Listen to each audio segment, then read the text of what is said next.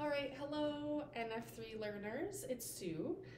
We, as instructors, we wanted to go over just kind of how the setup is supposed to look at the end of week two. So you've done your two labs for the week and what we actually want everything to look like by the end so that you guys know how to practice over the weekend and make sure you're really ready for when we do our on-site labs and for evaluation. So I have my setup here. You guys can see my living room in the background, but that's all good. So I've got my setup here. Right now I just have my primary line here. So I've got my saline bag. In this case, we'll say that my doctor's order was for saline. I have my primary line that's running down through here.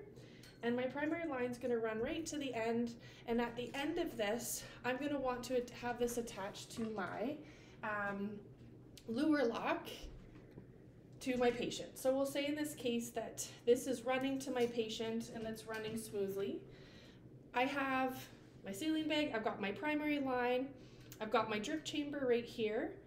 My first Y site is right here, and just below that is the key that's gonna go into my pump, okay? So we'll imagine that the pump is running about right here, okay? So I'm gonna lower the camera so you really only see my setup as opposed to seeing my face as well. So all of this is running down, primary bag, primary line, running right through, all the way down to my Luer lock or saline um, lock here, and then onto the IV cannula that's going to be in my patient. Okay, so we'll imagine that that's running through. What we covered today and yesterday was that we want you guys to have a secondary line with the medication. So obviously in the other video went over exactly how we want everything to look um, for doing your checks and making sure that this is the appropriate medication for the patient. But just to go over a quick overview with it, so when I open up the secondary line, there's going to be some sort of hanging device. This one has a metal, a metal one. The other ones do have like a navy blue one. In this case, I don't need it because I have something else that I've used to hang up there. Okay, so the next thing I'm gonna do is I'm gonna grab my grab my um, piggyback medication here, okay? So I've already done all my checks and everything, and now I'm just wanting to back prime this, okay?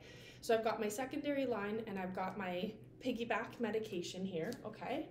So I wanna make sure that I have an alcohol swab, there we go. I'm gonna stop my patient's IV pump, okay? So that this is not running through, so everything's blocked at the moment, all right? Next thing, I like to um, hang this one the secondary line up before I do the swabbing, but in this case, because I've already um, broken the line, I want to make sure that I, I don't have it run all over my living room. So the next thing I'm going to do is I'm going to find that first um, Y site here. So this is going to be the one that's going to be above the pump. So we'll say this is the pump, this is the key that goes in the pump. So it's going to be right above there. I'm going to swab this for 30 seconds. So 28, 29, 30, okay? Then I'm going to grab my secondary line so I have my secondary line right here, okay? I'm going to lock this so that it doesn't run through and get contaminated on me. Have the blue end here, gonna take that blue guy off if I'm able to. It's really on there. Okay, I'm gonna put that down, make sure it doesn't touch anything, and use two hands with that. Put the blue one down, and then it hasn't touched anything, so it's still um, it's still sterile from uh, when I I uh, swabbed it with the alcohol swab. Now I'm going to attach my secondary line and my primary line like this, and since it's locked, it is not going to fill up my chamber just yet until I want it to. Okay. So in order to do back priming, what I need to do is I need to line up these two chambers. Okay, so I'm going to unlock this while this secondary line chamber is above the first one. Okay, so I'm going to slowly unlock this. And I'm not sure if you can tell, but it's starting to drip here. It's starting to move up my secondary line, and this is my back priming. So now, right now, the fluid is here. If I go lower down, this is gonna fill up quicker. Okay, and if I go even lower, so if I open this up, these are gonna match directly. If I want it to stop flowing, either I bring it up like this, or I can always clamp it, okay? So now my drip chamber on my secondary line is about halfway, so I'm happy about that. I'm gonna clamp this off so I don't have to worry about where it is in comparison to the primary line chamber. Then I'm gonna grab my secondary medication, okay? I'm going to pull to open this one up and get rid of that one, Okay, so now I have, this is my open area, this one is sterile, so I don't want to, I want to make sure I'm not touching that or contaminating it. I'm going to take the cap off of my spike, okay, put this one in without touching it, keeping it completely sterile. And now I have back primed my secondary line, okay, and now I can hang this one up.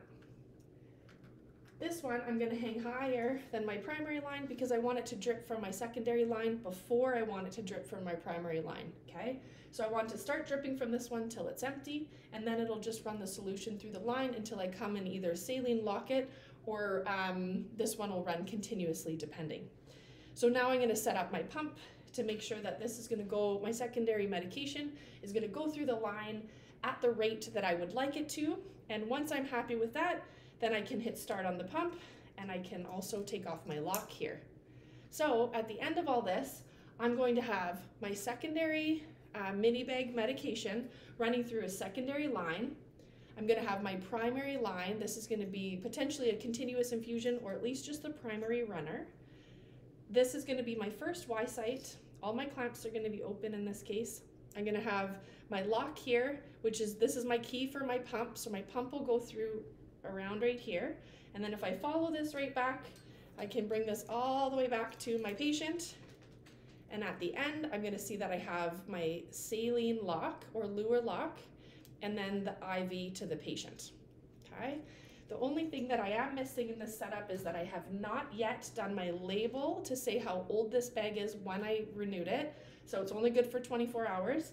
And then I also don't have any labels on my lines, so that would be my next step to make sure that I label the date and time of these lines as well as the medication that's running through them. So if somebody comes in and would like to attach a, a different IV piggyback through this, that we can make sure the medications and the primary solution are in fact compatible.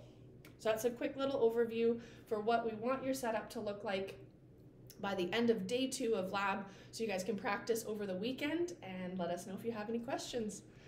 Have a good one.